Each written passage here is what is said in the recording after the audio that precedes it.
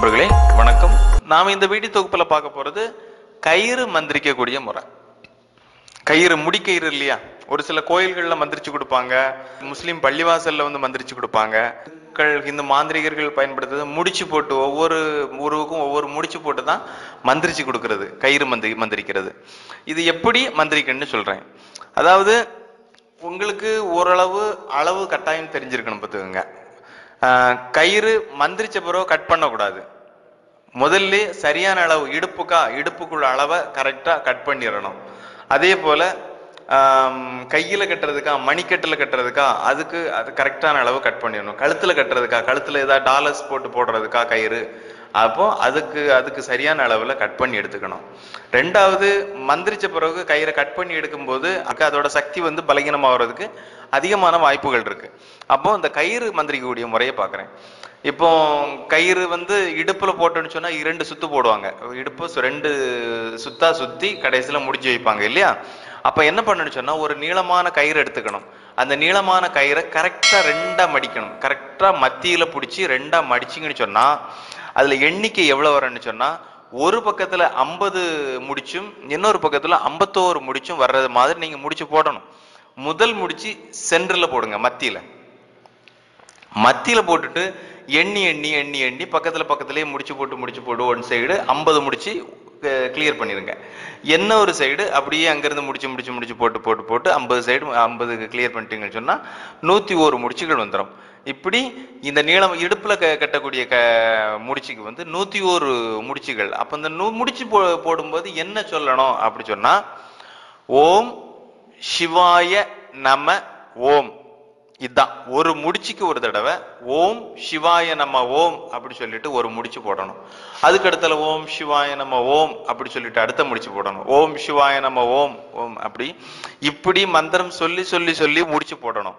இந்த கயிறு எதுக்காக கட்டுறாங்கன்னு சொன்னா உடம்புல ஒரு சில நோய் நொடிகள் அடிக்கடி நிறைய பேருக்கு நோய் நொடிகள் வந்துட்டு இருக்கும். என்ன காரணம்னே தெரியாது. திடீர்னு ஜலதோஷம் வந்த மாதிரி இருக்கும் உடனே காய்ச்சல் வந்துடும் அடுத்தல தலைவலி அதிகமாக இருக்கும். இந்த மாதிரி பிரச்சனைகள்லாம் இருக்கும். அப்போ அந்த நோய் நொடிகள் நீங்கிறதுக்காகவும் ஒரு சிலவங்க காலில் கூட கயிறு கட்டுவாங்க. பார்த்துருக்கீங்களா?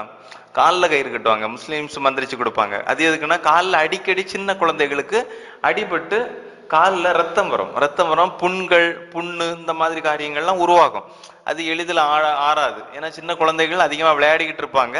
விளையாடும் போது அடிக்கடி காலில் அடிபடும். அதே இடத்துலயே அடிபட்டுக்கிட்டு இருக்கும். அப்போ அதெல்லாம் ஒரு பெரிய பிரச்சனைகளை உருவாக்கும். பிறகு ஒரு பெரிய செலவை வந்து பணச்செலவை வந்து ஏற்படுத்தும். அதனால அதுக்கு முன்னாடி தான் அதுக்காக தான் அந்த கயிறுகள்லாம் கட்டுறது. மணிக்கட்டில் கயிற்று கட்டிருப்பாங்க பாதுகாப்புக்காக. எந்த ஒரு தீய சக்திகளும் நம்ம கிட்ட அணுகக்கூடாதுங்கிற மஞ்சள் கயிறு கூட போடலாம். மஞ்சள் கயிறுகள் வந்து அம்மன் கோயில்கள்லாம் மஞ்சள் கயிறு சிகப்பு கயிறு பச்சை கயிறு முஞ்சு முந்திரிச்சு மந்திரிச்சு கொடுப்பாங்க. பள்ளிகளில் கருப்பு கயிறு கொடுப்பாங்க.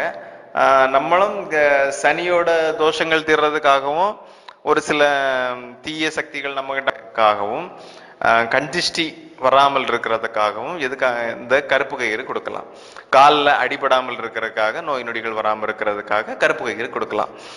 ஒரு நல்ல பாதுகாப்பு இந்த தெய்வத்தோட பாதுகாப்பு வேணுங்கிறதுக்காக நம்ம இந்த மஞ்ச கயிறுலாம் வந்து கோயிலில் கொடுப்பாங்க. கோயில் சாமியோட பாது பாதத்தில் வச்சு ஒரு நாற்பத்தோரு நாள் ஐம்பத்தோரு நாள் வச்சு எடுத்து கொடுப்பாங்க. அது ஒரு நல்ல பாதுகாப்பு. இப்படி கொடுப்பாங்க. இந்த மாதிரி பல வகைகளில் நம்ம இந்த கயிறை மந்திரிச்சு பண்ணலாம். அதுக்குள்ள மந்திரம் வந்து ஓம் சிவாய நம ஓம். இந்த கயிறு மந்திரிக்கக்கூடிய முறைக்கும் நீங்கள் வந்து முறையாக பூஜைகள்லாம் வச்சு தான் மந்திரிக்கணும். எப்போவுமே சும்மா ஊதுபத்தி கொளுத்தாமல் வாங்காமல் எந்த ஒரு வேலையும் இது பண்ணக்கூடாது. கட்டாயம் அந்த இடத்துல ஒரு நறுமணம் ம- கமலனும் அதே மாதிரி உங்க உபாசன தெய்வத்தோட விளக்க வந்து ஏத்தி வச்சுக்கோங்க. அதுக்கு ஒரு சின்ன படையல் போடணும்னா படையல் போட்டுருங்க. வெத்தலை பார்க்க பழம் அவல் பொறி கடலை கற்கண்டு. இந்த மாதிரி விஷயங்கள்லாம் வச்சு படையல் போட்டுட்டு அதுக்கு பிறகு இந்த காரியத்தை பண்ணீங்கன்னு சொன்னா ரொம்ப வெற்றிகரமா இருக்கும்.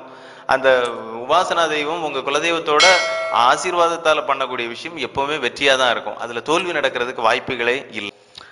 இத இதையும் அதே போலதான் இதுக்கு முன்ன சித்தி பண்ணவங்க சொன்னா ஈஸியா உடனே அந்த தெய்வத்தோட அருளால உடனே அந்த காரியம் வந்து பலிதமாகும். புதுசா சொல்றவங்க இந்த மந்திரத்தை கட்டாயம் ஒரு பத்தாயிரத்தி எட்டு தடவையா சொல்ல வேண்டியிருக்கும். சிவாய நம ஓம் பத்தாயிரத்தி எட்டு தடவை சொல்லிக்கிட்டு தான் அதுக்கு பிறகு இந்த காரியத்தை பண்ணீங்கன்னு சொன்னா கயிறு மந்திரிக்கக்கூடிய வேலைகள் பண்ணீங்கன்னு சொன்னா ரொம்ப சிறப்பா இருக்கும். நன்றி வணக்கம்.